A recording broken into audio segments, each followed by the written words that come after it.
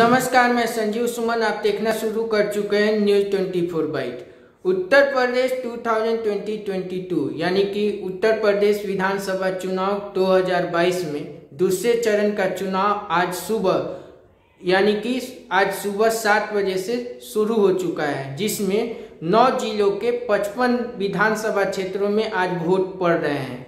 और आपकी जानकारी के लिए बता दें कि यह वोट देर शाम छह बजे तक पड़ेंगे, लेकिन चुनाव आयोग की तरफ़ से यह बताया गया है कि छह बजे के बाद भी जो पढ़ते, जो मत मतदाता बूथ सेंटर के अंदर रहेंगे, वे सब अपने मत का प्रयोग करेंगे। तो कुल मिलाकर देखा जाए तो पिछले चुनाव में, यानी कि पिछले जो पहले चरण का चुनाव हुआ था, उसमें कहीं कहीं सात बजे रात तक भी मतदान पड़ा है, यानी कि मत पड़े हैं। तो हो सकता है कि शाम को भी आज अगर शाम तक भी कुछ वोटिंग और ज़्यादा होंगी और शाम में भी छः बजे के बाद भी कुछ वोट और पड़ सकते हैं।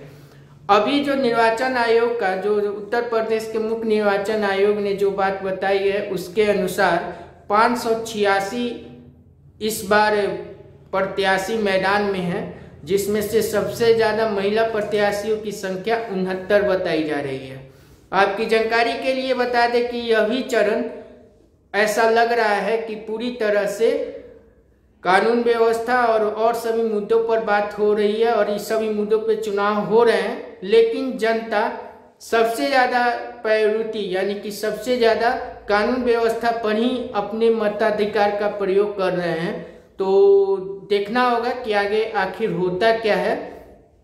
साथ ही साथ एक बात और बता दें कि यह कहा जाता है कि दूसरे चरण में जो नौ ज़िले हैं, उसमें से अधिकांशतः सपा यानी कि उत्तर प्रदेश की जो दूसरी सबसे बड़ी क्षत्रिय पार्टी है, समाजवादी पार्टी, जिसके मुखिया अखिलेश यादव हैं, उस, उनका ये सभी सीटों पे ज़्यादा प्रभाव बताया जा रहा है। तो अब देखना दिलचस्प होगा कि दूसरे चरण का रुझान किस पार्टी के तरफ़ जाता है। ये तो आज शाम के छः बजे के बाद, यानी कि जब चुनाव आज के समाप्त हो जाएँगे, उसके बाद तो जो संकेत आएँगे, वहाँ से ग्राउंड रिपोर्ट आएँगे, उसके बाद ही पता चल पाएगा।